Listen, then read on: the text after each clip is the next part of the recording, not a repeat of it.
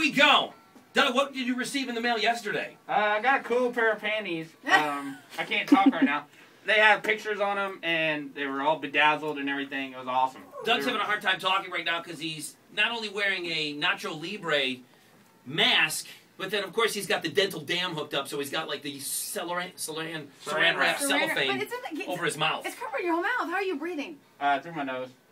Jeez. Okay, Doug, are you ready to go? We've got Heath in here, our intern. He's ready to take. How is it that our intern gets to take pictures and you're the one digging in the I don't know. This kind of sucks. Face first. I know, but Doug's like stretching out. He's like get getting everything warmed up. You don't want to pull anything. You For know? three weeks, panties have been submitted. They all have names, phone numbers. They are on there. Doug is ready to go. Diving in for the panties. What the hell is going on Well, he now? wants to get height. I have my little step stool over here because I'm short, and he's gonna really. he wants to get to the bottom. You Little know. snooky stool. Yeah. All right, on my mark. In three, in two, Get it done. in one, go! Get in there! All the way at the bottom! Libra. All the way at the bottom! Get in there, Doug, get in there. Wait a minute, there's oh, I hear. I think There's is the he mic. still breathing? Groaning and moaning. Get in there! I don't how can he even grab with all the crap on his? Oh, I think. I think he's suffocating. He's got one! How does he grab the smallest pair of panties out of the No whole idea. thing? I think he's been practicing at home.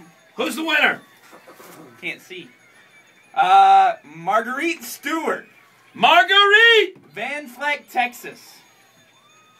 Is it me or has Doug grabbed the smallest Tiniest? thong, tiny little, most minimal materialed panties out of that whole bin? There are huge, big, like bloomers in there. Like string thongs, like li- a tea bag. A tea bag is literally like dee dee, like barely there, and you can hear him moaning and groaning in the bottom. I think he was suffocating.